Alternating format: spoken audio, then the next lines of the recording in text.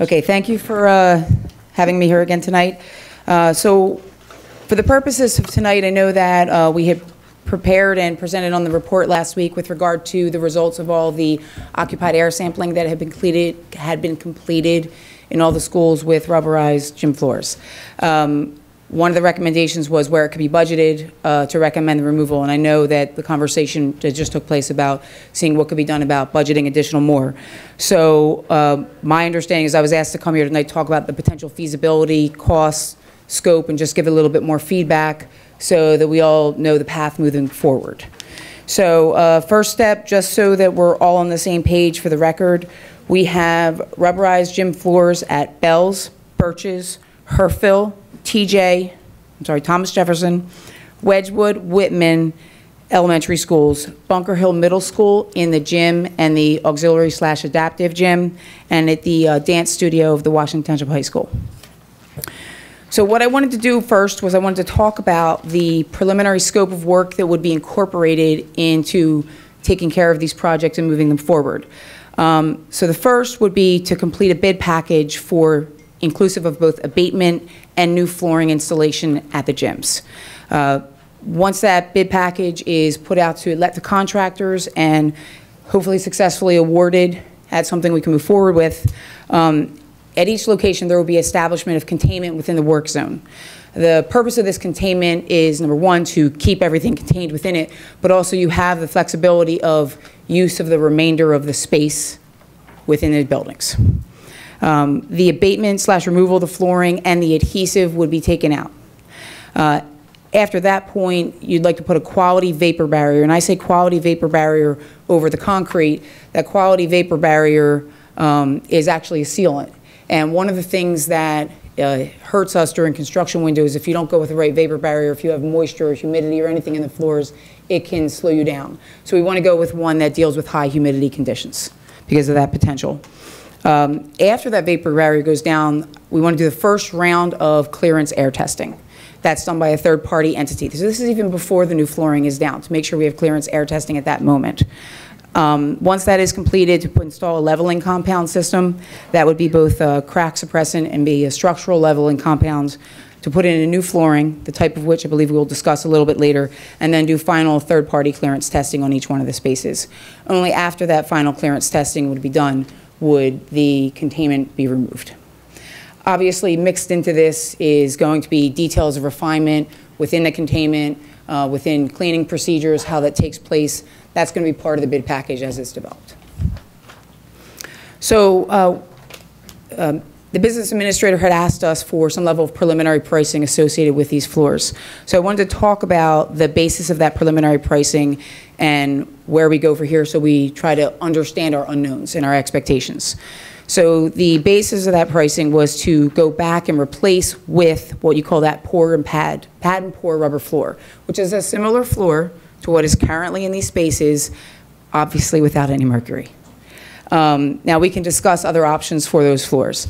Um, The scope, as I had previously discussed, um, at the time, we had approximate room sizes, um, anticipated floor thicknesses based on the flooring cores that had been removed before, um, a modest level of striping similar to what's currently in the spaces, because added striping caused an added cost, um, and us having a competitive bidding market, um, with the idea also that they would be doing it during normal work hours.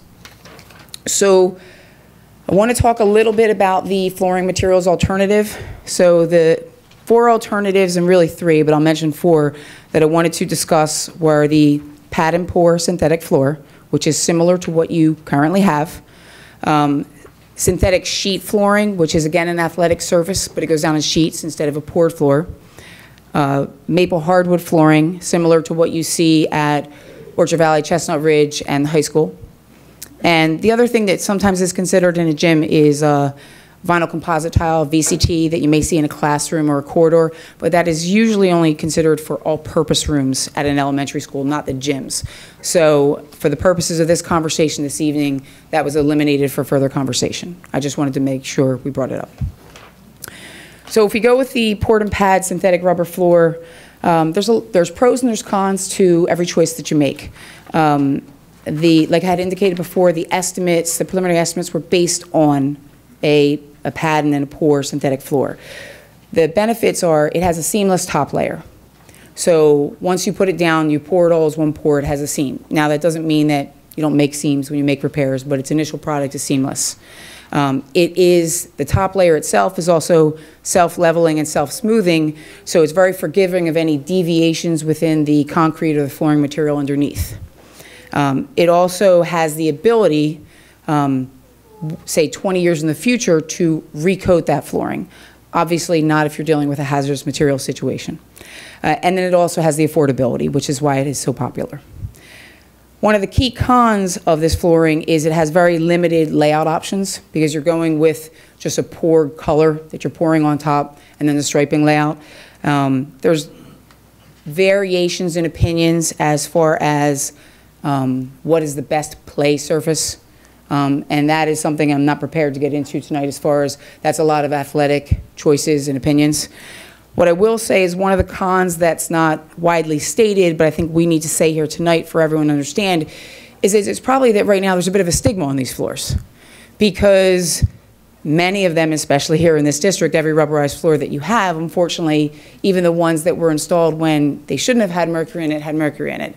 So um, obviously, if you're going to go move forward with these, we want to get past that stigma and make sure that we have every assurance um, in the documentation provided by the manufacturer, the installer, and samples of what actual materials poured to be tested um, on those floors to ensure that we deal with that con. But I, I do think that's a con that may not be publicized, but one worth discussion.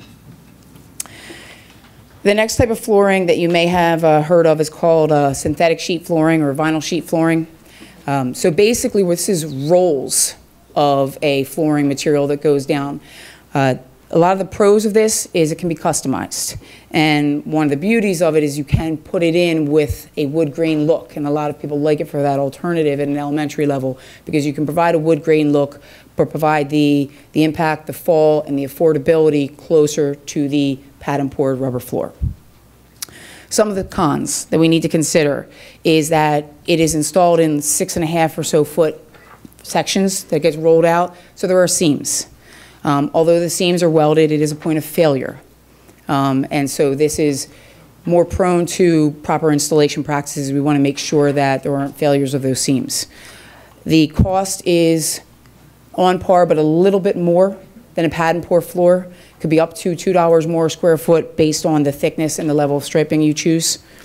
Uh, It does require, when you, it's the end of a life and those sheets are peeling or they're failing at their seams, you're removing it and you're putting in a new floor as opposed to the potential to recoat the other floor. When, uh, the third floor I wanted to talk about was maple hardwood flooring. And again, this is similar to what you see in large gymnasiums at a high school level, collegiate level, and again, Orchard Valley and Chestnut Ridge have your hardwood flooring. One of the things with the hardwood flooring is you get the more customization opportunities, even on the wood grain look and the wood grain style and flexibility. It is consistent with your other middle schools here in district that you may want to consider for Bunker Hill. It is the traditional basketball choice for the wood bounce for basketball. Um, Understanding of, however, the schools are used for multi-sports. Uh, So some of the cons are, one of the biggest cons is cost. You're talking about four to eight dollars more a square foot. Um, It, if you get a leakage or high humidity condition within the school, it's less tolerant of that. You can have bowing of the wood. Um, It is a high maintenance cost and low versatility for use for a variety of sports, Um, and it's rarely considered at the elementary school level. Um, So I just wanted to kind of throw that out for consideration. Uh, I am not asking at this immediate moment for you to make that choice, but I just wanted to talk about the options. Before I continue, do you want to ask questions specific to those options, or do you want me to finish this presentation? I have one. Yes, ma'am. Since we're dealing with a time issue, because we want to get this done this summer, what is the difference in time issues on the installation of each of these materials? Okay, so from a timing perspective, and I will talk about that a little bit later as we get through, um, a lot of the timing is going to be associated with the concrete, the vapor barrier, the leveling compound, and not so much the floor that's going in on top of it. Um, A lot of those can be produced within a certain time frame, so I will address timing a little bit later in the presentation.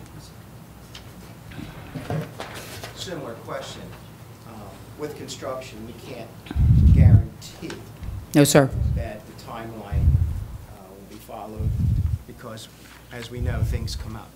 So our concern would be, um, would the school be able to be used, all the schools be able to be used on the opening of school, and that the students can use the rest of the building in a safe atmosphere? So um, I'll come back to that again a little bit later into this presentation, but what I would say to you is that, um, obviously, if the project runs long, the gyms would be under containment. Uh, The one thing that we would obviously have to discuss would be the curing time and odors associated with a rubber floor and that coating and that painting.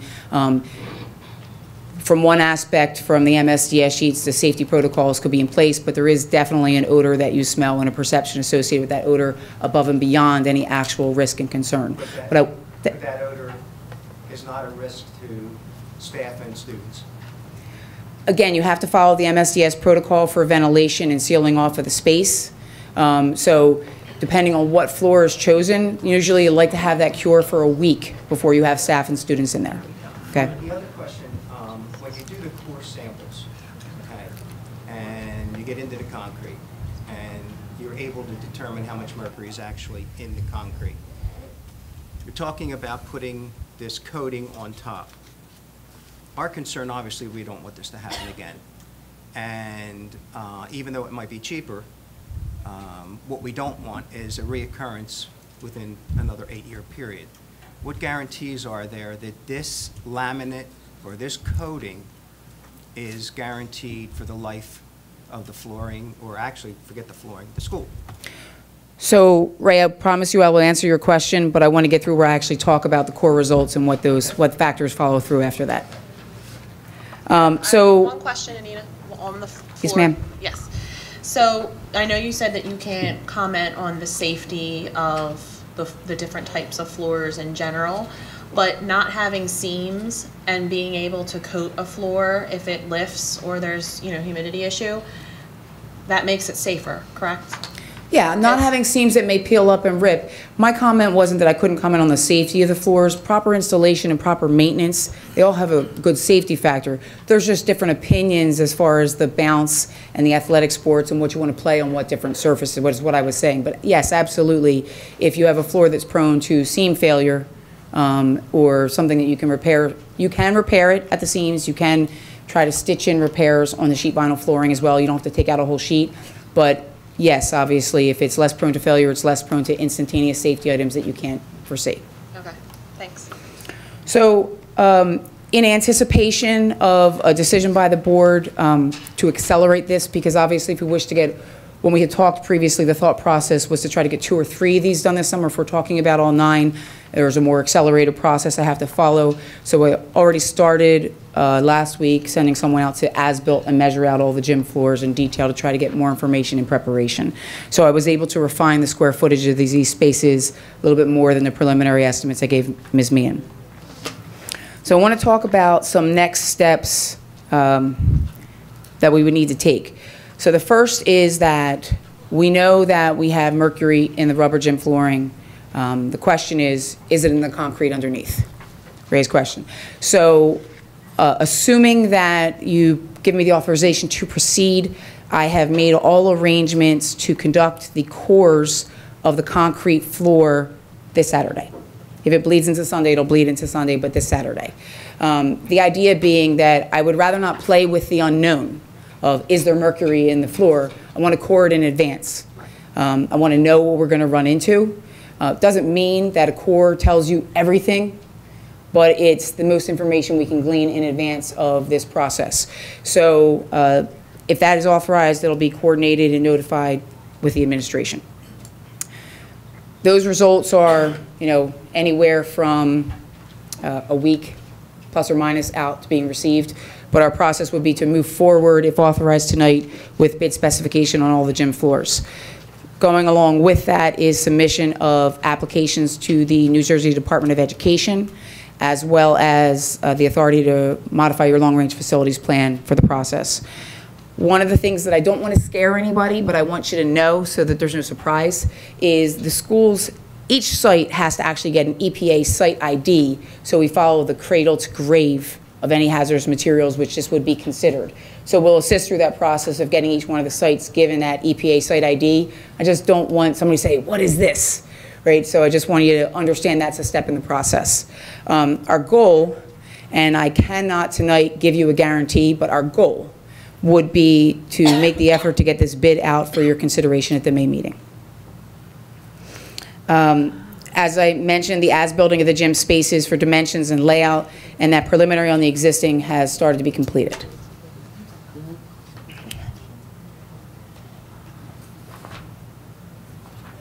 That would be the earliest. It doesn't have to be at that moment. I apologize if I threw anybody off. I didn't warn anybody with that statement. Um, No, I was just asking if we're- we're framing to open those bids before the work session or the public meeting. It's not a lot of time. That's what I was just gonna ask too. It's going to be, depending on how fast I can make it happen and schedule the bid award, bid dates, but we'll kind of, uh, we'll work through those dates. We typically work through that with the administration to try to refine the dates as best we can. So decisions that we need from the school district. Uh, The first is whether or not you agree with the scope I mentioned, which in my mind is a minimum scope. It's not necessarily, it, it doesn't, it isn't the minimum scope to the state of New Jersey, it isn't the minimum scope, it's just what I believe is giving you the minimum safe conditions, okay? So, um, the next is the flooring material that is preferred. If you are unsure, and you give me the authorization to proceed, we do have the option, if you wanted to consider both sheet flooring and pad and pour floor at the elementaries, of doing alternate bids.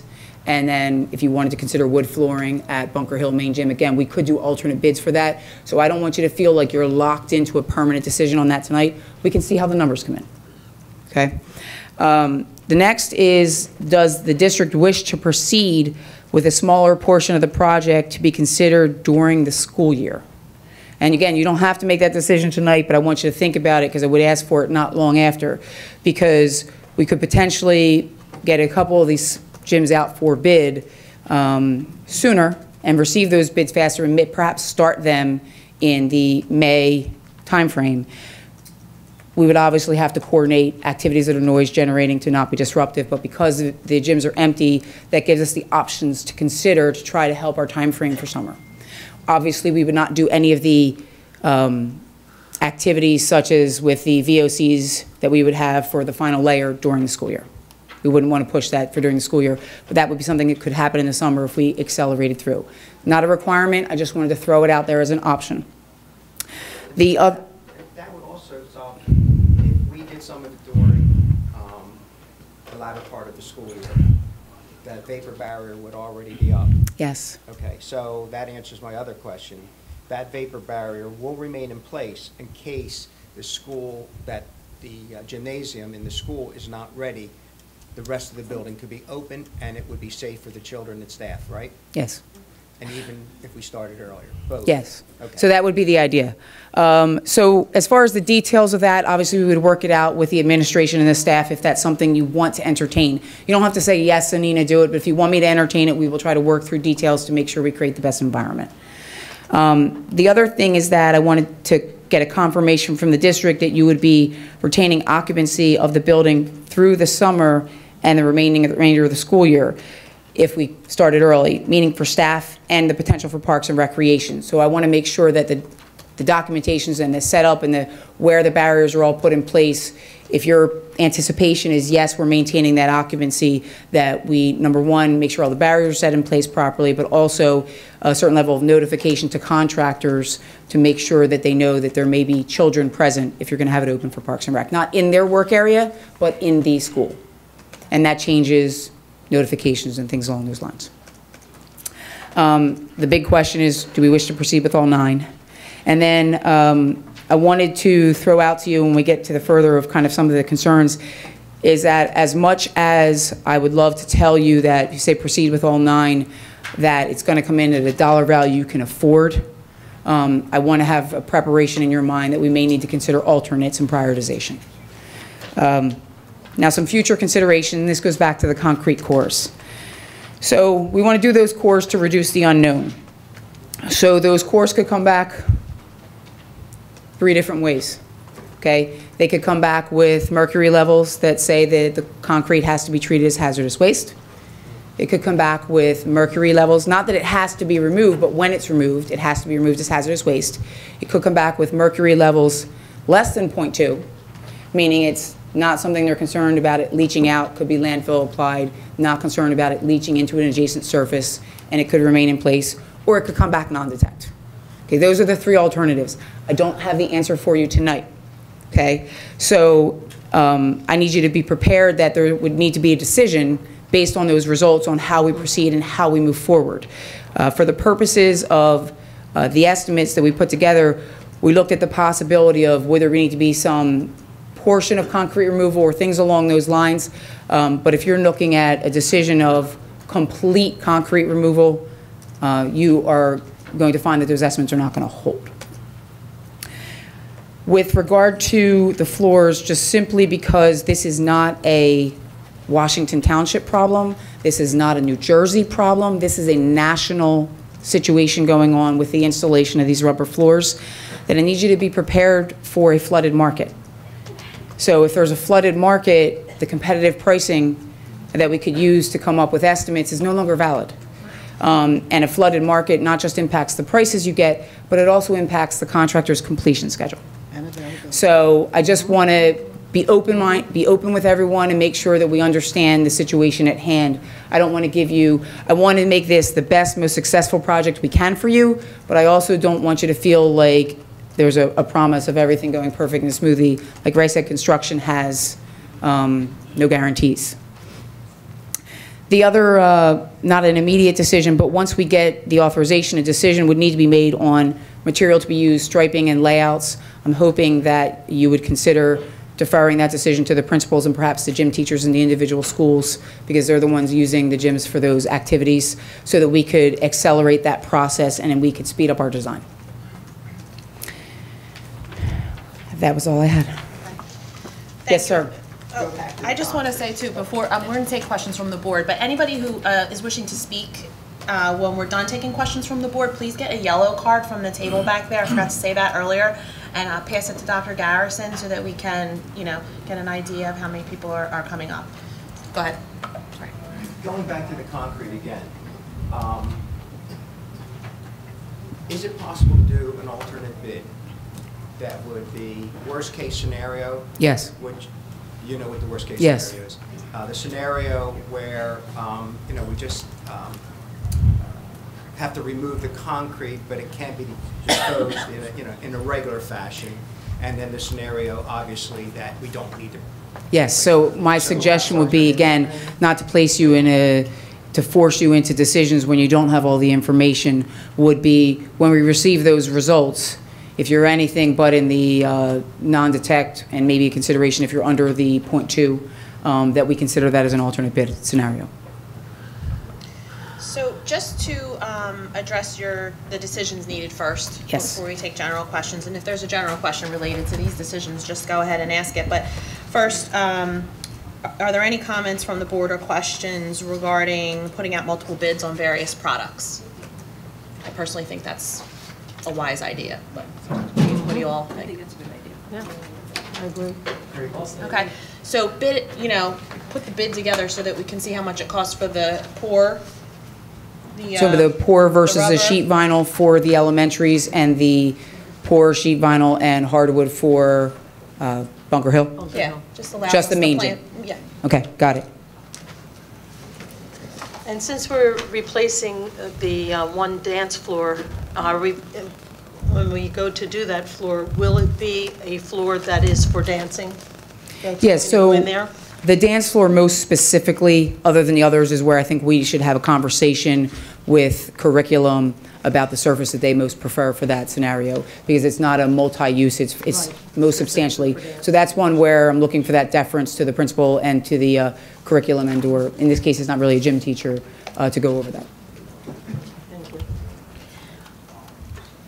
also, um, the time, the timing and the flooded market is a concern. And I want to see um, if it's possible to put the bids out to award to multiple contractors so they can all be working simultaneously. How, do you, how does the board feel about doing something like that? They can phrase it so that, um, and open it so that multiple people can get the work. So we can establish it as one set of bid documents, but set it up as multiple contracts. Um, the, I, I think that I'd like to ask you to wait to make that final decision later on this month. Uh, Just to give me an opportunity to reach out to vendors, to get an idea of, would they bid the one? Do they, you know, are they, do they have a concern about completion, about the market? Because as the market changes, we have it ready. That's a change that we could make right away. We could do it all as one, or we could do them as individual contracts, or maybe group of three contracts. Um, I, I think that there's a viability for that idea. Um, I, I would ask, uh, if it doesn't impact our time frame, then maybe you just defer that a little bit to get me, some- let me get some more information and get a feel for if you're going to have savings for economies of scale, if you're going to have savings for one abatement vendor, one GC, one flooring contractor, and they can roll from location to location, and you might get them dedicated. So I- Okay. I'm just asking you to defer that if you don't mind. Yeah, I mean, I don't know exactly how that works with all the different third parties, but I just want to make sure if we're saying we're doing it this summer, which we have, that we're doing it this summer. Um, we also are gonna need a legal opinion because we're required to go with the lowest responsive bidder.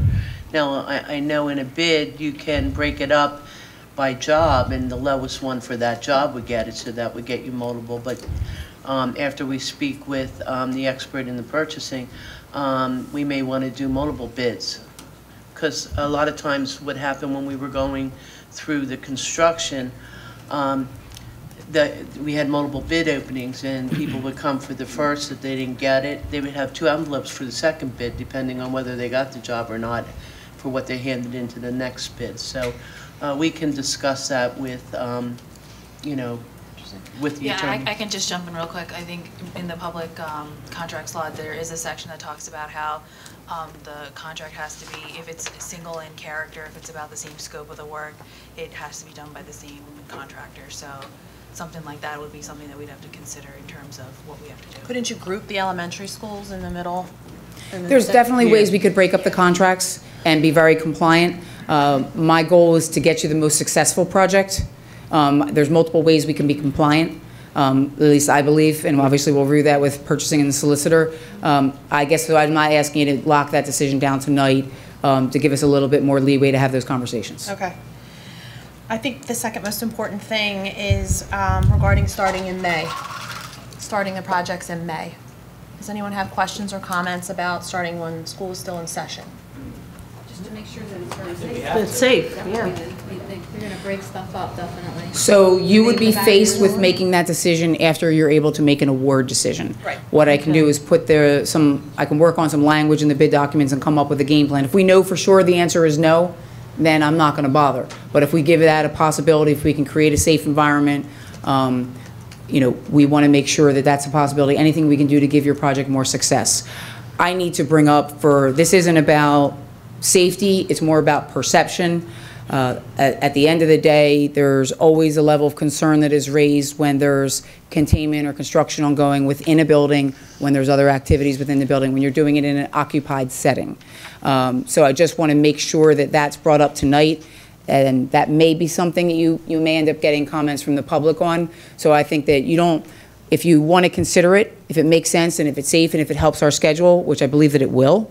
Um, Now, we have to get successful contractors to do this, but they're always the busiest in the summer. Getting them in advance saves you time. One more, one more, but I, uh, you won't have to make that decision until we have a construction contract to award. I just want us to make sure that we're not going away from caution for the kids to speed up the process. Because when you speed up the process, things un- unavoidably Things can go happen. Wrong. So I want us to make sure that if it it has to take more time, please let us know that so we are aware. I don't want us to just throw caution to the wind to get it done and it's not done safely or, I hate to use the phrase, half-assed. Got it. And, um, Ju- Julie, Joe, um, Thank you, Mrs. just to, con- just to confirm, the, um, after-school programs, the summer programs are not at these schools. In any was the facility, in question. any No. space in the facility. it's not. That's Okay. been a question So that's the come up only multiple times. occupied potential of the school would be maintenance staff, principal, and secretary? Um, uh, Parks and Rec was notified that the gyms would not be available. uh, where the rubberized is. They were not notified. um, 'Cause There's the all-purpose room too, that's the reason I brought it up. Um, they were not notified about the all-purpose room or any classrooms, but they are aware that the gymnasiums weren't available. Um, we have extended school year, which is not in that, those buildings, our programs. Okay. We also, um, Kids' Choice. we, uh, Kids' Choice, we rent to them, but they will be using Chestnut Ridge and po- possibly Orchard Valley, which is not affected. So if I summarize this correctly, and I apologize, there's a potential for Parks and Rec in maybe the all-purpose room or cafeterias um, and other spaces, is that a possibility? And um, then the, probably principal, administrative staff, and maintenance staff. Yeah, we Okay. haven't sat down with Parks and Rec yet to, to plan that out, but yes, we would sit down with them. and- I just want to make sure when I put the bid documents together and advising the contractor that children may be present within the building. Gotcha. And that's the main thing I want to get across. Okay. And I think, I don't want to misspeak, but I think in most of the elementary schools, the all-purpose room is in the front of the building, the gym is all the way in the back. So it- Correct. It can be completely contained Correct. if we were to hold those things in the. And there's a major fire break wall, or the major wall break where there was the original building in the There were additions. 1997 addition. Yeah, okay. Uh, any other questions? Yeah, one, one other. Will there be a project manager assigned, since this is a very large project? And if so, would that be you or another um, engineer from R and D? So the project manager would be myself, there would be an assistant project manager from RMV, and there would be a construction manager from RMV. Uh, Lenny Sinaglia, who some of you have met, um, who's highly competent, um, as well as um, myself and the uh, assistant project manager, and then obviously there'd be other staff, but Yeah, I will speak from experience. Um, When we had a renovation done to the school where I was principal, uh, that person was very valuable. Uh, He would, he would check in with me every morning to make sure, say, this is where we're working, just wanted to let you know, if you're bringing gym classes out, please use the other. And, and that coordination and that communication made for a very smooth construction project. So that's why I brought that up, because I think that's an important person to have, especially, you know, for a job this size. Yeah, and uh, Lenny, uh, I, I agree with you on that front, and Lenny and uh, Keith, who's also from our office, is actively involved in projects in, in Township, and Keith has seen many, many school construction projects through. Similarly, uh, you're not going to get an inexperienced staff here. In addition, again, there would be third-party oversight with regard to any clearance testing along those projects. Do we want to consider, do we want to consider the time element on how, how well they can, how quickly they can get it done or not in our bid proposal since you mentioned. Yeah, that's kind of what I was mentioning when I, and when I asked about how the bid was going to be written in terms of awards, because I don't know how you would ever ha get it all done with one contractor, but I think that's clear that we want it done this summer, however you need The to write bi- it. Understood, and one of the things that I think is the biggest unknown with the time element, to be honest with you, is the concrete. If we ended up removing and having to pour new concrete, the cure time, um, now, again, we would look at. You said at, you're doing that testing this weekend? That testing is being done on And it Saturday. takes a week to get it yes, back. yes. I probably would not have it back to the labs, obviously, till Monday, so it'd probably be Monday, Tuesday the following week. But as soon as I know, obviously, I will let you know. Um, The, uh, But one of the things that that does is, there's mechanisms we can use to try to accelerate, and one of those things is, again, things that work under high humidity conditions. Those are things we can make sure that we do to try to keep the timing moving along and try to deal with some of the potential unknowns ahead of time. Julie, the one thing too, that um, if it, if it starts early. Turn your mic on, Red. The one thing too, if it starts earlier or it runs late, um, we're in the time of the year where those facilities don't have to be used as much because most of the time the kids will be going outside for, um, you know, for PE. Um, And of course, if it runs into September again, most of the time they're going to be out. That's why I brought up the fact that we could still use the building. Okay, they're safe and they would be safe going outside. So we may be able to buy a little extra time, except on rainy days where we wouldn't have to worry about uh, the PE classes probably till as far as, you know, maybe the beginning of uh, October. So that's one thing that could help us with that timeline. I think we could also look at using the um, all-purpose rooms for phys ed, because that's where phys ed was prior to us building these gyms. That's true. So we can go in to September and October with the plan that that's what we'll use as a backup if they're not done. Yeah, and and the gym wasn't ready at Chestnut Ridge this year. The kids were outside until November or something like that. Um, it's not ideal, but it can be done even at the middle level. Any other questions or comments from the board before we open to the public? If not, can I get a motion to open to the public? Second. All in favor? Aye.